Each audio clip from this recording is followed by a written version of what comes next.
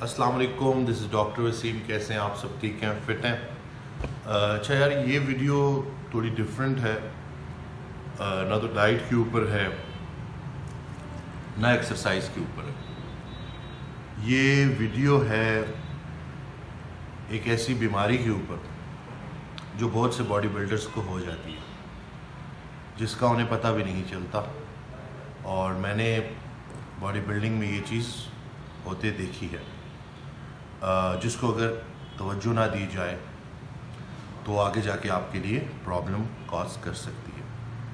دیکھیں body building میں ہم جو چیز سکھاتے ہیں نا کہ ایک بندہ یا تو سکنی ہے یا اوور ویٹ ہے، تو وہ اپنی باڈی کو بہتر کرنے کے لیے، اپنی فزیک کو بہتر کرنے کے لیے، اپنی باڈی امیج کو بہتر کرنے کے لیے ایکسرسائز کرتا ہے، محنت کرتا ہے ڈائٹ کرتا ہے اور وہ وقت کے ساتھ ساتھ ایک اچھی فزیک حاصل کر لیتا ہے۔ سیلف لو امپورٹنٹ ہے اپنے آپ کو، اپنی جسم سے پیار کرنا، اپنے آپ کو توجہ دینا، اپنی ڈائٹ کا خیال رکھنا۔ تھوڑی بہت آپسیشن چلتی ہے، وہ ضرورت بھی ہے۔ لیکن ایسا نہیں ہے کہ اس سیلف لو میں انسان اتنا مبتلا ہو جائے کہ وہ اپنے ارد گرد کے لوگوں کی پرواہ کرنا چھوڑ دے۔ اور ہم لوگ چاہتے ہیں کہ ایک اچھی فزیک بنے، لیکن اس کا قطن یہ مقصد نہیں ہے کہ انسان بحثیت انسان برا انسان بن جائے۔ ایک شعر ہے کہ اے خدا مجھ کو ایسی خدائی نہ دے کہ اپنے سوا کچھ دکھائی نہ دے۔ یہ باڈی بلڈرز کے اوپر فٹنس ریلیٹڈ لوگوں پہ بڑا سوٹ کرتا ہے کہ جیسے جیسے ان کی باڈی بہتر ہونے لگتی ہے، تو ان کے اندر وہ خود پسندی بڑھتی جاتی ہے، اپنی باڈی بلڈنگ کو لے کے وہ زیادہ آبسیسڈ ہو جاتے ہیں۔ ہر وقت باڈی بلڈنگ کی باتیں کرتے ہیں، ہر وقت ڈائٹ کی باتیں کرتے ہیں۔ اور میری باڈی بلڈنگ، میری باڈی، میری ڈائٹ، میرا سپلیمنٹ سب میرا سے شروع ہوتا ہے اور میرا پہ ختم ہو جاتا ہے۔ یہ اس چیز کو اگر توجہ نہ دی جائے تو انسان جو ہے وہ دوسروں کو ڈس رسپیکٹ کرنا شروع کر دیتا ہے۔ آپ نے میری اس بات سے آپ لوگ ضرور ریلیٹ کریں گے کہ پاکستان میں جس کی بھی ذرا سی باڈی بنتی ہے، تو اس کے اندر ایک تکبر آ جاتا ہے، وہ اس کے اندر وہ آجزی کم ہو جاتی ہے۔ ٹھیک ہے، اگر آپ کے لیٹس بلڈ ہو گئے ہیں تو آپ تھوڑا سا اگر ہاتھ کھول کے چل رہے ہیں تو وہ ٹھیک ہے۔ لیکن اگر آپ کے لیٹس اتنے ڈیولپ نہیں ہیں جتنے آپ ہاتھ کھول کے چل رہے ہیں۔ اور یہ سوچ رہے ہیں کہ میرے ایسے چوڑے چلنے سے میں دوسروں سے بہتر ہو جاؤں گا۔ یا دوسروں سے منفرد نظر آؤں گا اور باقی میرے سے حقیر نظر آئیں گے، چھوٹے نظر آئیں گے، تو یہ سوچ ٹھیک نہیں ہے۔ اس سوچ کو روکنا، اس کو کریکٹ کرنا بہت زیادہ ضروری ہے، کیونکہ میں ایک بات بار بار کرتا ہوں کہ یہ دنیا اللہ تعالیٰ نے سب کے لیے بنائی ہے، سب انسانوں کے لیے بنائی ہے۔ یہ صرف آپ کی دنیا نہیں ہے، خدا صرف آپ کا نہیں ہے، باڈی صرف آپ کی نہیں ہے، ٹھیک ہے؟ آپ کی فزیک بن گئی، اللہ نے آپ کو بلیس کر دیا، تو شکر گزار رہیں اور جو لوگ، باقی لوگ، جو لوگ محنت کر رہے ہیں، ان کی محنت کو بھی اپریشیٹ کریں، ان کو بھی اچھی ایڈوائس دیں۔ اور کوشش کریں کہ کوئی ایسی بات نہ کریں کہ جس میں صرف آپ کی میں اتنی زیادہ نظر آئے کہ دوسرے کی کوئی بات کرنے کی اس میں جگہ ہی نہ یہ جو خود پسندی ہے، اگر یہ بہت زیادہ بڑھ جائے، آپ کی انا بڑھ جائے، آپ کی اپنے آپ سے آبسیشن بڑھ جائے تو وہ کرٹیکل تھنکنگ کو افیکٹ کرتی ہے۔ اور اس حد تک افیکٹ کرتی ہے کہ کوئی بندہ اگر آپ کے ساتھ اچھا آپ سے کوئی اچھا مشورہ لینے بھی آئے، تو آپ اچھا مشورہ بھی نہیں دے پاتے۔ اور ایک حدیث ہے کہ ایک اچھا کسی کو اچھا مشورہ دینا بھی صدقہ ہے۔ تو مطلب کتنی کوئی افسوس کی بات ہوگی کہ کوئی انسان آپ کے پاس آئے، آپ کی ایک اچھی ایڈوائس کی اس کو ضرورت ہو اور آپ ایک اچھا آنیسٹ مشورہ بھی اس کو نہ دے سکیں۔ تو یہ چیزیں یہ چیزیں، ان کے اوپر سوچنا، ان کے اوپر بات کرنا بھی بہت زیادہ ضروری ہے۔ ہم نے ایک بہتر نیشن بننا ہے۔ ہم نے احساس کو زندہ رکھنا ہے۔ یہ خالی باتیں نہیں ہیں۔ میں نے خود اپنی باڈی بلڈنگ میں اس چیز کو دیکھا ہے، وٹنس کیا ہے۔ میں خود بھی ایڈمٹ کرتا ہوں کہ خاص عرصے تک میں بھی ایسا تھا کہ صرف میری باڈی بلڈنگ میری ڈائٹ میں میں میں اور میرے سے جو جڑے لوگ تھے، وہ لوگ تھوڑا سفر ہوئے اور اس بات میں مجھے کوئی فخر نہیں ہے۔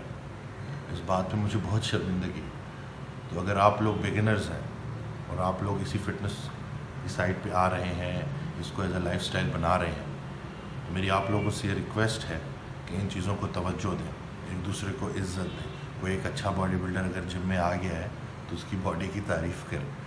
ایسا نہیں ہے کہ کوئی ایک اچھا باڈی بلڈر آ گیا ہے تو آپ اتنا اس سے انسیکیور ہو جائیں کہ آپ کے منہ سے تعریف کے الفاظ میں کہ ایک چھوٹا سا واقعہ میں آپ کو بتاؤں گا کہ ہمارے جم میں ایک بہت اچھی فزیک کا لڑکا ہے۔ اللہ نے اس کو ہائٹ بھی بڑی اچھی دی ہے، اس کی فزیک بھی بہت اچھی تھی۔ تو وہ تھوڑی مطلب بیگی بیگی جینس تھی، ذرا لوز سی جینس تھی، اس میں تھا۔ تو ہمارے ہی ٹرینر میں سے ایک ٹرینر نے بولا کہ مجھے لگتا ہے لیگس کمزور ہوں گی اس کی، کیوں؟ کیونکہ اس کو اس کی لیگز نظر نہیں آ رہی تھی۔ تو اس نے پورے جسم کی جو خوبصورت مسلس تھے اپر باڈی تھی، سب کچھ تھا، اس کو نظر انداز کر کے وہ اس کا کوئی ایک ایپ ڈھونڈ رہا تھا، کوئی ایک شاید۔ کیوں؟ کیونکہ یہ چیز جو ہے، یہ جو خود پسندی ہے، یہ جو آبسیشن ہے، یہ آپ کو بہت نیچے تک لے جاتی ہے اور آپ ریئلائز نہیں کرتے، آپ کی انسائٹ نہیں ہوتی۔ آپ کو لگ رہا ہوتا ہے کہ جیسے سارا مسئلہ لوگوں کے ساتھ ہے، لیکن آپ نے اپنی غلطی کو فکس کرنا ہوتا ہے۔ دیکھیں کوئی بری بات نہیں ہے۔ غلطی ہر انسان کرتا ہے۔ ہر انسان جو ہے وہ خطا کرتا ہے، لیکن بہتر انسان وہی ہے جو اپنی غلطی سے سمجھے، سیکھے اور دوبارہ وہ غلطی نہ کرے۔ جو آپ کی باڈی ہے، وہ آپ کی پرسنالٹی کا ایک چھوٹا سا حصہ ہے۔ آپ کسی سے بات کیسے کرتے ہیں؟ آپ کا لوگوں سے اخلاق کیسا ہے؟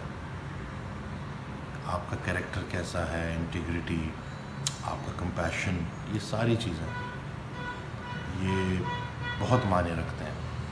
آپ کی فزیک بہت اچھی ہو، لیکن اگر آپ کسی سے بات نہیں کر سکتے، آپ کو بات کرنے کی تمیز نہ ہو، آپ کسی کی تعریف نہیں کر سکتے، آپ کسی کو موٹیویٹ نہیں کر سکتے، آپ کسی کو انسپائر نہیں کر سکتے، تو اس باڈی کا آپ پھر اچار ہی ڈال لیں تو بہتر ہے۔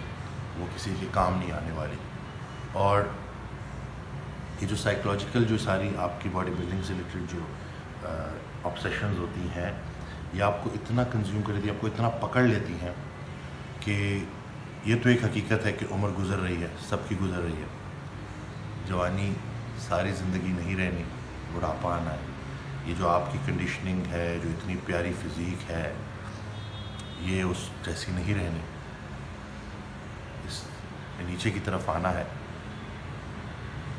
تو ایسے لوگوں کو جو اس کو لے کے بہت زیادہ کنسرن ہوتے ہیں اور صرف اسی کے اوپر کام کرتے ہیں باڈی کے اوپر، تو بڑھاپے میں وہ لوگ ڈپریشن کا شکار بھی ہو جاتے ہیں۔